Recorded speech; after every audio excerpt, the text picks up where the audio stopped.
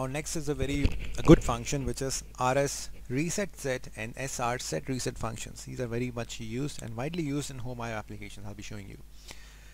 So this function you may find here rs okay? This is your rs function.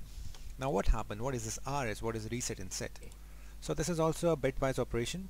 So I need to take a bit here. Source bit. Okay? Connecting it to set and another source bit connecting it to reset. And at output we can see actuation at this bit now what this bit says if you have a pulse to the set a pulse means or any signal like if I press this on and press it off this is a pulse okay? By getting a pulse here it will latch the output. Now latch means it will hold the output. It will turn on the outputs. It will latch it. This will not be off. This will only be off if you have a signal at reset okay then this will be off. So by pressing this set again just once this will be on. If I press this this will be off.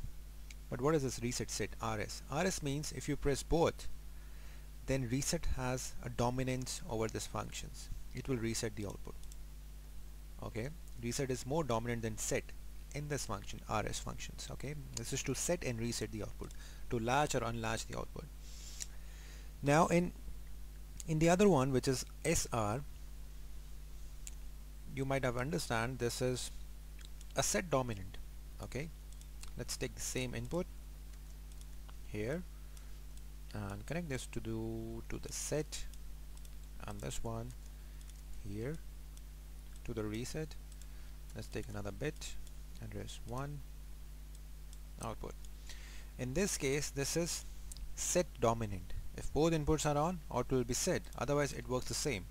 Press it once release it output will be large, press it once release it output will be unlatched but if you press both output will be set. In this case if you press both output will be reset. That is the difference between SR SR which is set reset and RS reset set function. This has reset domination this has set domination. And this will be widely used in many of the control applications many of this. Because you have sensors here which will give you a signal give you just a pulse but that pulse signal you want to latch something. You want to latch a motor or a solenoid or an alarm. That is where it is used. And if you are from a programming background you might understand yes this is a very good application very good functions to use in many applications. RS and SR okay?